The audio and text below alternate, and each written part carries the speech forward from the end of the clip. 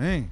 Está funcionando em Cascavel o Centro de Valorização à Vida.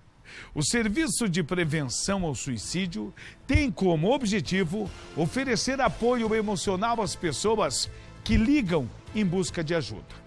No Paraná, Cascavel é a segunda regional de onde mais saem ligações, perdendo apenas para Curitiba. Põe na tela, Dudu!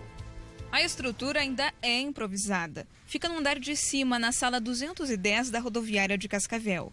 Esta é a sede do programa CVV, de Valorização à Vida e Prevenção ao Suicídio, projeto que existe em Cascavel desde setembro.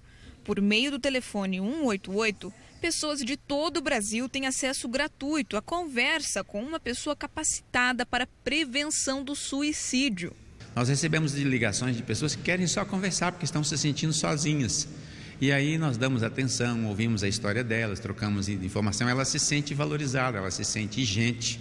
Então, se nós é, olharmos em que momento ela está nesse processo caminhando para o suicídio, ela está lá no início.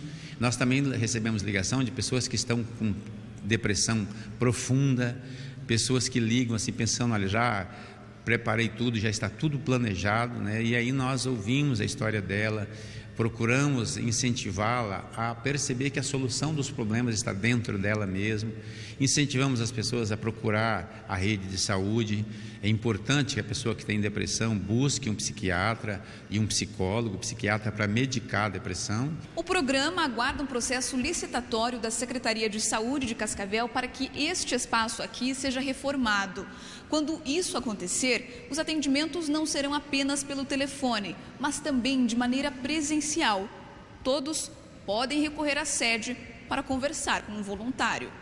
A ideia é criar grupos para troca de experiência entre pessoas que perderam alguém por causa do suicídio, ou ainda aqueles que já tentaram tirar a própria vida.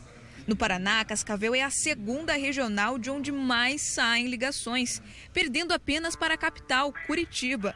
Para auxiliar neste trabalho, que é totalmente de graça, também é necessário o apoio de voluntários. Nós vamos fazer um novo processo seletivo de voluntários em fevereiro, onde a pessoa não só recebe o treinamento, mas também ela é avaliada e é muito esclarecida sobre a gravidade e a seriedade do trabalho que ela vai prestar no CVV.